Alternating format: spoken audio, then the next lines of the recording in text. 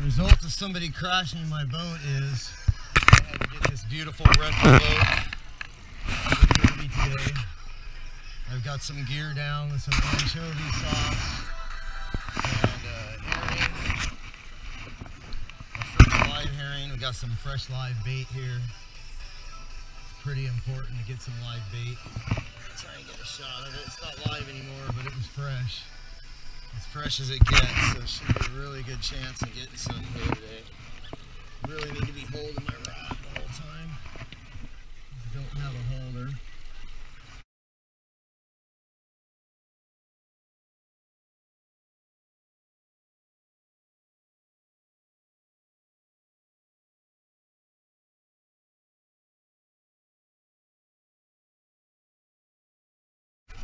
What I'm doing now is there's probably fish following it by now. So I'm gonna speed up and slow down a little bit, make some turns. See if I can spark a fish to check that drag a little bit. They're following it, you really want them to think that it's afraid of them and trying to run. If you don't, then they'll know it's fake.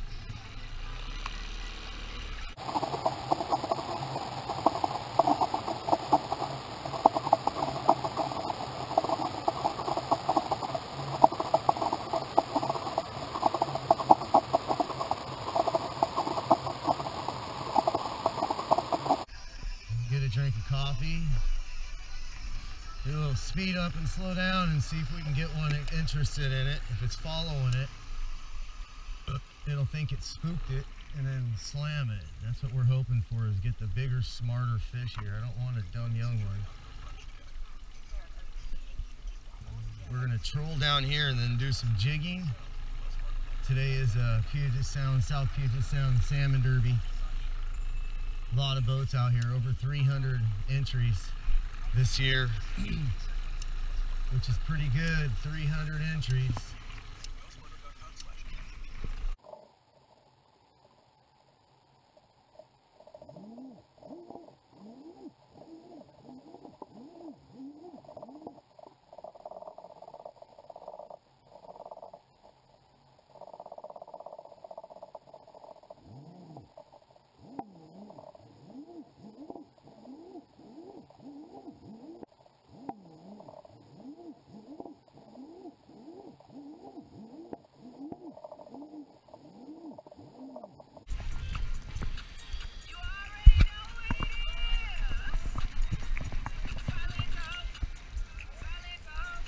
Probably a shaker or a baby dogfish.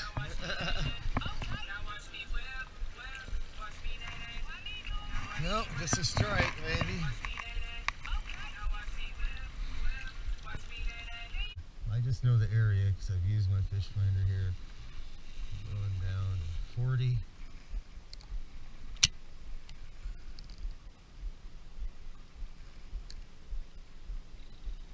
I'm doing about five foot drops.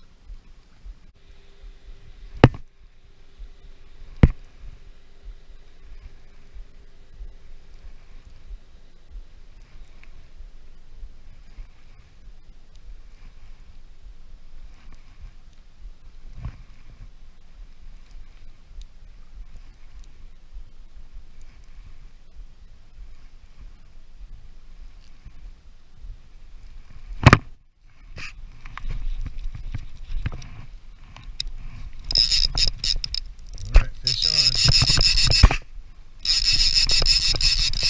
Let's hope it's a salmon. Come on, fishy.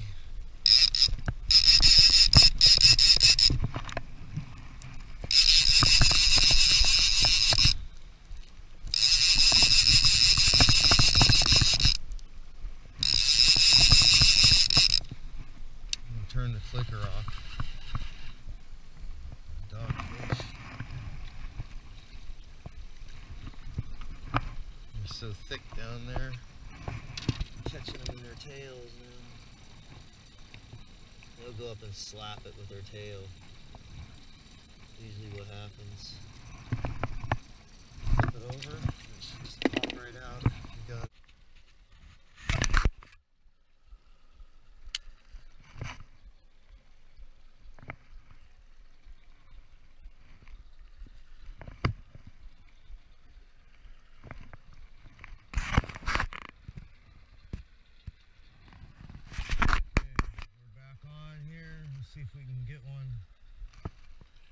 camera on. These guys, I'm trolling and jigging, and a lot of these guys trolling are just getting right up on us. I've had one guy snag all my stuff once already. He yelled at a couple other guys already. Come on, people. There's a certain distance you can get next to another boat. Just respect that and you'll be good. Stay 50 feet away. Know what people are thinking out here. Fish on. Went to jigging. And we got a decent one on here. Decent fish. Not a, definitely a salmon.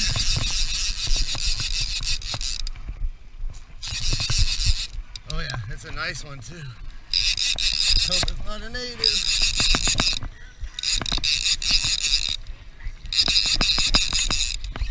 Oh, there he goes. He's not happy.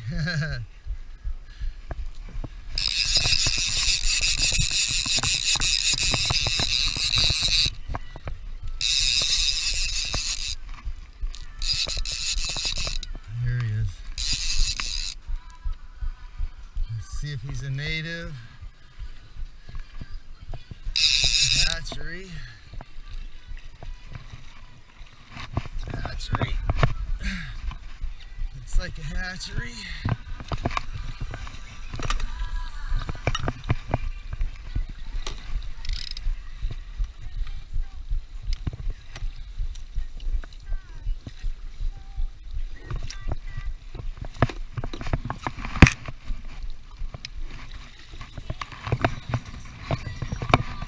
Okay, if you didn't catch that, try to do that pretty easy. I need to make sure it's a.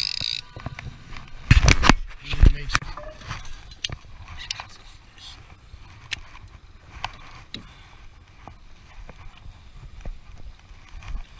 It's a fish. It's not the big one I wanted.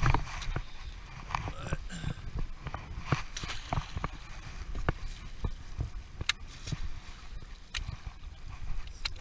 nothing.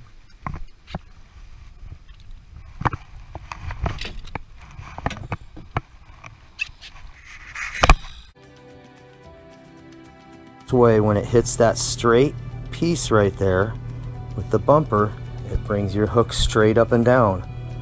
Your other one you've tied so they're opposite directions. It ups your odds. You're going to grab it from either side when it grabs it back here. I don't know if you've noticed the difference in my old ones and my new ones are a ridiculous amount of size drop and hooks from these guys.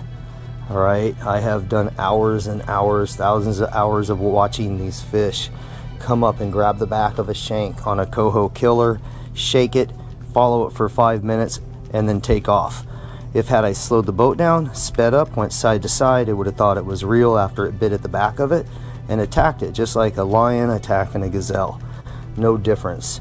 So when you do think you have a shaker, slow your boat down, speed it up, turn it left or right. Same with jigging. You think there is a little bump, drop it back down. Don't bring it back in. It, it could be following it around. It's looking for that prey to stumble one way or the other. Then it pounces.